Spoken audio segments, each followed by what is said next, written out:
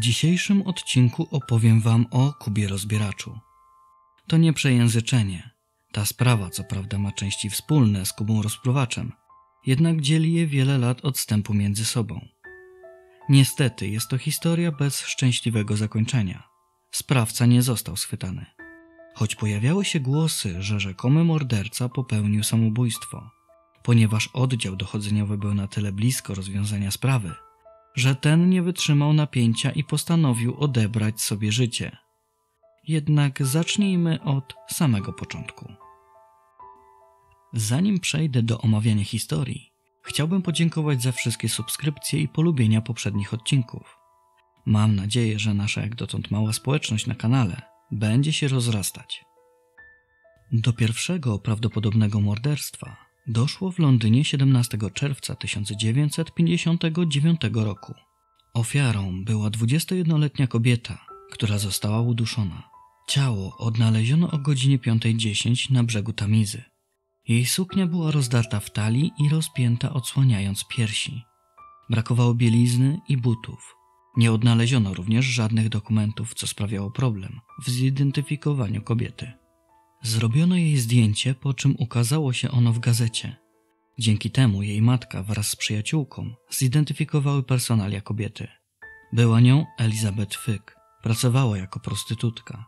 Ta informacja dała śledczym punkt zaczepienia. Zakładali, że mordercą mógł być jeden z jej klientów, a do ataku doszło w jego samochodzie. Stąd brak na miejscu zbrodni osobistych rzeczy ofiary. Nieopodal odnalezionego ciała znajdował się pub. Śledczy postanowili poszukać możliwych świadków zabójstwa. W lokalu zastali jedynie właścicieli, którzy tej nocy widzieli przednie światła samochodu zaparkowanego w tej okolicy. A gdy tylko światła zgasły, usłyszeli przerażający kobiecy krzyk. Do kolejnego prawdopodobnego morderstwa doszło 8 listopada 1963 roku. Ofiarą była Gwyneth Reese. Jej ciało zostało odnalezione na składowisku odpadów. Było oddalone od poprzedniego miejsca zabójstwa o półtora kilometra. Ciało kobiety było nagie, z wyjątkiem jednej pończochy. Podobnie jak Elizabeth, została uduszona. Brakowało jej też kilku zębów. Wspominałem o prawdopodobnych morderstwach Kuby Rozbieracza, ponieważ nie ma pewności, że te dwie kobiety zostały przez niego zamordowane. Jednak modus operandi zgadza się z następnymi zabójstwami. Jednak dzieli je kilkuletnia różnica czasowa, co nie do końca przekonywało śledczych, by można było je przypisać tej samej osobie.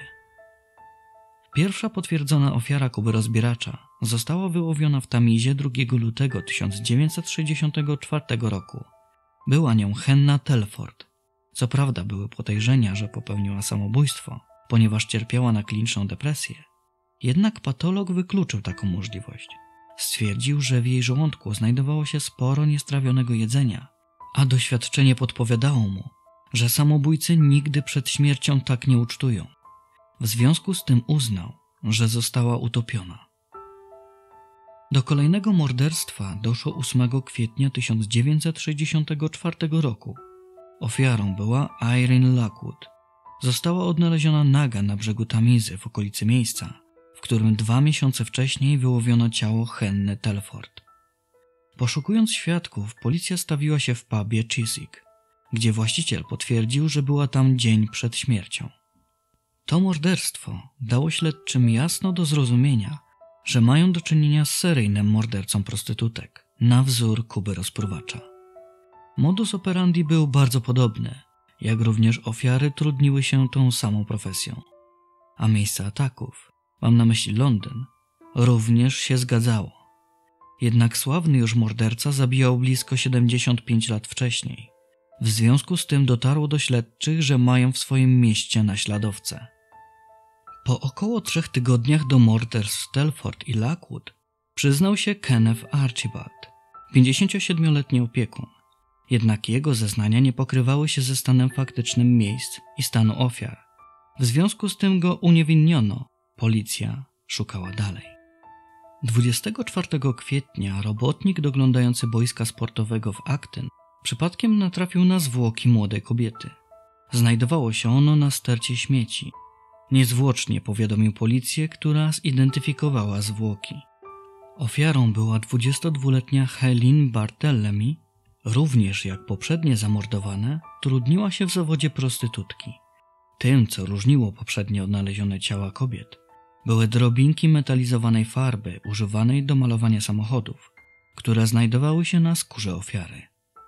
Na ciele odnaleziono również ślad oparzenia, co mogło świadczyć o tym, że zwłoki znajdowały się przez pewien czas obok grzejnika lub transformatora. Policjanci wysnuli teorię, że zabójca przetrzymywał zwłoki w garażu, czekając na dogodny moment, by się ich pozbyć. Powołano specjalną grupę mającą za zadanie sprawdzić wszystkie malarnie w mieście. Niestety nie odnaleziono innych śladów mogących pomóc w odnalezieniu sprawcy morderstw. Kolejną ofiarą była Mary Fleming. Odnaleziono ją 14 lipca na dziedzińcu garażu. Na jej ciele, podobnie jak poprzednio, odnaleziono ślady lakieru samochodowego. Tym razem po raz pierwszy odnaleziono coś jeszcze. A było to nasienie w przełyku martwej kobiety. Brakowało jej też sztucznych zębów. Nie została uduszona rękoma, jak to miało miejsce w przypadku poprzednich ofiar. Detektyw John Durose stwierdził, że sprawiała wrażenie, jakby wciśnięto jej w gardło małe jabłko. Przepytując sąsiadów, otrzymali informację, że chwilę przed odnalezieniem ciała słyszeli cofający samochód. Jednak ta wiadomość nie przybliżyła śledczych do odkrycia tożsamości mordercy. 25 listopada, po około miesiącu od zaginięcia, odnaleziono na stercie śmieci martwą prostytutkę Margaret McGowan. Została uduszona. Miała wybite zęby, ślady nasienia w gardle i plamy farby na skórze. Znała się z dwiema poprzednimi ofiarami, Haylin i Mary. Margaret była ciekawą kobietą. Po zainteresowaniu mediów jej śmiercią, odkryto jej związki z londyńskimi stręczycielami seksualnymi. Wykryto również jej powiązanie z politykami uwikłanymi w skandal seksualny ministra obrony Wielkiej Brytanii, Johna Profumo. Ten skandal doprowadził do rezygnacji z pełnienia funkcji ministra, członka parlamentu i tajnej Rady Wielkiej Brytanii, potocznie zwanej Privy Council. 16 lutego 1965 roku rozbieracz uderzył po raz ostatni. Ciało odnaleziono w krzakach nieopodal posiadłości przemysłowej Aktyn. Podobnie jak wcześniej, ofiara miała wybite zęby, ślady nasienia w ustach i plamy farby na skórze. Ciało jednak było niemal zmumifikowane. Zabójca musiał trzymać tak blisko źródła ciepła, że skóra była wręcz wypalona. Kobietę udało się zidentyfikować. Była nią Bridget O'Hara. W związku z tą sprawą przesłuchanych zostało 7 tysięcy osób. W szczególności skupiono się na robotnikach nocnych. Detektyw Durose był przekonany, że to właśnie jeden z nich jest poszukiwanym mordercą. Był niemal pewien, że ciała były porzucane pod zasłoną ciemności. Przesłuchania nic specjalnego nie wniosły do śledztwa. Poszukiwania seryjnego zabójcy nadal tkwiły w martwym punkcie. Dlatego podjęto decyzję o zaangażowaniu gazet. Miało to na celu wywabienie mordercy z kryjówki. Informacje, które się tam pojawiły, nie były do końca prawdziwe. Mówiono tam o zbliżającym się końcu śledztwa. Za pierwszym razem śledztwo miało zostać zawężone do 20 osób, by w następnym oświadczeniu zredukować liczbę podejrzanych do 10. Finalnie mówiono o trzech osobach. Oczywiście, policja publikując te sensacyjne informacje blefowała, czego rozbieracz nie wiedział. Nikt poza policją nie znał prawdy.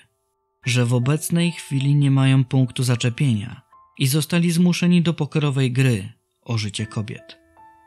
Zabójca nie spodziewał się takiego obrotu sprawy.